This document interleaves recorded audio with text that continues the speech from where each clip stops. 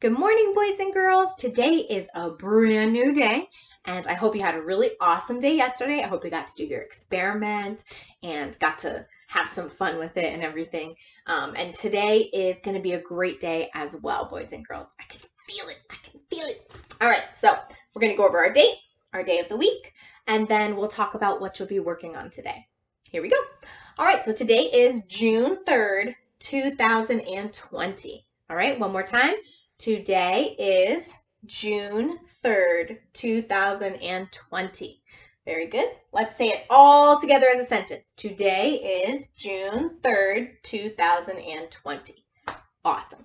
All right, what day of the week is it today? Well, today is Wednesday. It's Wednesday.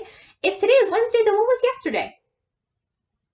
Tuesday. Good. And if today is Wednesday, what is tomorrow? Thursday. Excellent, boys and girls. All right, so yesterday was Tuesday, today is Wednesday, and tomorrow will be Thursday. Good. All right, what are we going to be working on today? Well, on our schedule for Bible, you will have chapel, and you're going to be watching some chapel videos. Remember to continue practicing your memory verse. It was our theme verse for this year, so remember to keep practicing that.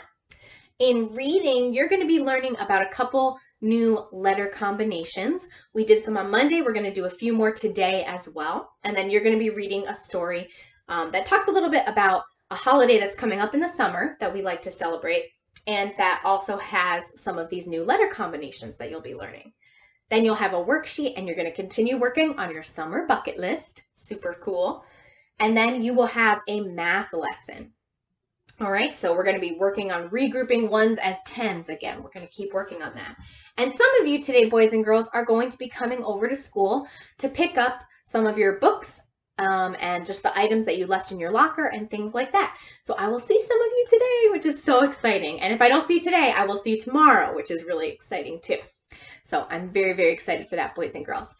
All right, so that is your day. Let's pray, and then you can get started. Hands in the air, hands in our hair, hands ready for prayer. Dear Lord, thank you for this day. Thank you for um, just the love and care that you give for us. I pray that we can extend that love and care to others. Lord, I pray for each boy and girl that they um, just feel your presence today and know that they are loved and they are cared for. And I pray that um, uh, today will just be a, a good day overall. In Jesus' name, amen. All right, boys and girls, that is all for now. You can go ahead and get started on your work for the day. I'll see you later.